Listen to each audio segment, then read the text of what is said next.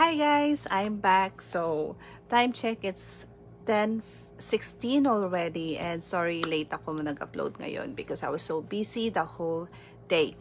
And katatapos lang po ng aming Zoom meeting today with uh, the Sante NetDev and with our team in Sante.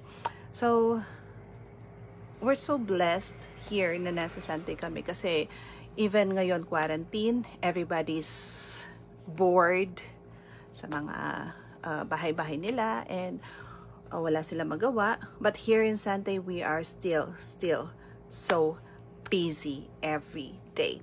So, kaya hindi po ako nakapag-upload kaninang umaga because I was busy with the deliveries and some orders. And um, like what I've promised last time, this time, uh, may sasagutin tayo na isang, isang tanong lang. And then I'm gonna share something um, some thoughts na, na sumagi lang sa isip ko. And ang sasagutin natin na tanong ngayon is yung isa sa natanong sa akin um, previously na sabi, bakit daw pagkatapos nilang uminom ng barley is feeling nila energetic sila. So ang tanong is, meron daw po bang caffeine yung barley natin sa Sante? So the answer there is no. Wala pong caffeine ang Sante uh, ang Santa Barley namin. So, pero bakit energetic yung mga nakakainom ng barley? That's because of yung uh, raw materials po na meron ang Santa Barley is nako-convert niya into energy naturally. Unlike po sa caffeine na uh, temporary lang yung energy na may bibigay nun sa'yo. So, yun po yung dahilan kung bakit energetic kayo. And at the same time, syempre, since uh, nafa-flash out yung toxins sa loob ng katawan natin. So, nare-revive yung mga cells natin. So, kapag na-revive yung mga cells natin, like sa, kapag nakatulog tayo, automatic yan kinabukasan, may energy tayo, masigla tayo. That's because yung cells natin na-revive, na-regenerate, uh, na-regenerate siya. So, yun, may lakas tayo. And, good thing na sa panahon ngayon ng COVID, marami tayong uh, source of protection dahil sa barley. So, yun. So, mas kailangan natin to ngayon dahil uh, kailangan natin ng napakalaking protection sa health natin. Kasi hindi natin masabi kung kailan o kung paano tayo mahahawaan ng virus. So, protect your loved ones and yourself, of course, with Sante Barley. So, protektahan natin yung health natin. And meron lang din po akong gustong i-share. Just a thought na dumaan sa uh, dumaan sa mind ko kanina. Kasi the other day I was talking to a friend. Uh, I was talking to someone and um, napag-usapan namin yung tungkol sa me time. So ano nga ba yung me time? Hindi ko alam kung familiar kayo or ginagawa nyo yung me time nyo. Well, yung me time is one of my favorite uh, activity of the day. So, usually, naglalaan ako ng mga few minutes, mga 10 minutes to 1 hour, 2 hours na nagkakaroon ako ng me time. Why? It's just my way of taking good care of myself. And it's one way of expressing my love for myself and for other people and the people that I love. Why? Paano nga po ba nakakatulong yung me time sa atin? Um, kapag ka po tayo kasi, meron tayong kaibigan ng mga malapit na tao sa buhay natin, we want to spend time with them. Gusto natin silang makilala, to get to know them. Pero ang tanong kasi is ginagawa po ba natin yon sa sarili natin? Kaya madalas, yung mga tao, hindi nila kilala yung sarili nila.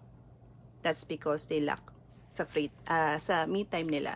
So sa akin, nakasanayan ko na magkaroon ng me time since sanay naman po akong uh, nag-spend ng time sa sarili ko and that's how I grow as a person. And kapag ka po kasi nag-me time ako, mas marami akong natututunan sa sarili ko or yung mga natutunan ko before, mas nagkakaroon ako ng time to process sa, sa mind ko kung ano yung mga nangyari in the past, nangyari sa or yung uh, ano yung mga natutunan ko previously. So, doon ko na ipaprocess and at the same time, doon ko mas nakikilala yung sarili ko.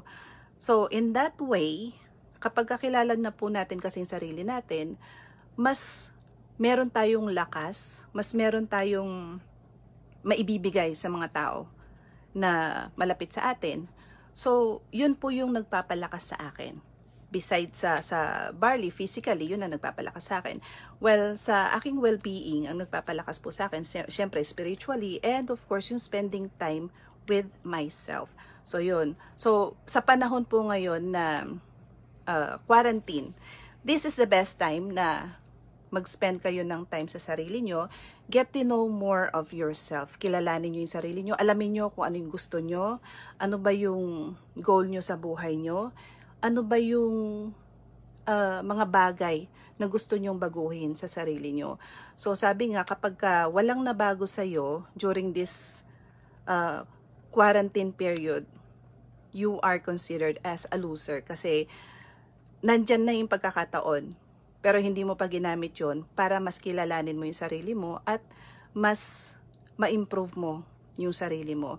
So the same thing na maging healthy tayo sa uh, yung sarili natin mismo, maging emotionally, spiritually, and lahat ng factors, lahat ng area sa buhay natin. Mai-process natin sa mind natin during that me time. And at the same time, that's the best time na rin to take care of ourselves. So, kapag ka kasi, um, pagka kasi masaya ka sa sarili mo, mas mapapasaya mo yung ibang tao. Pag minahal mo yung sarili mo, meron kang pagmamahal na maibibigay sa family mo, sa mga friends mo, sa mga tao na malapit sa'yo. So, yun yung na-share ko dun sa uh, kausap ko last time, which is, uh, natuwa ako kasi na-share ko yung ganong thought. Kasi, uh, minsan may mga thought tayo, may mga thoughts tayo sa, sa isip natin na hindi natin na-share. So, Kumbaga, kung makakatulong naman yun sa iba, share natin. Just like what I'm doing right now, nagbibigay ako ng mga frequently asked questions regarding the barley. And of course, ayaw ko naman na puro barley lang ang ma-share ko sa inyo. Gusto ko rin mag-share ng something na natutunan ko sa buhay.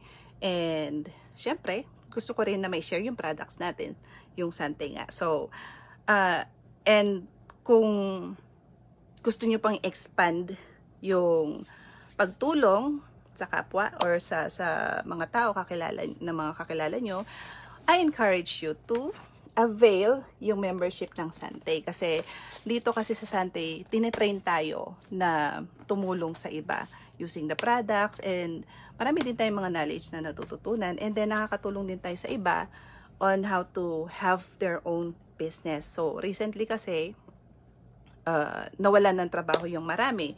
So ang tanong after ng COVID, ano yung naghihintay sa atin? So with Sante po, binibigyan tayo ng pagkakataon na magkaroon ng new start and sabi nga dito, the future looks bright with Sante Barley.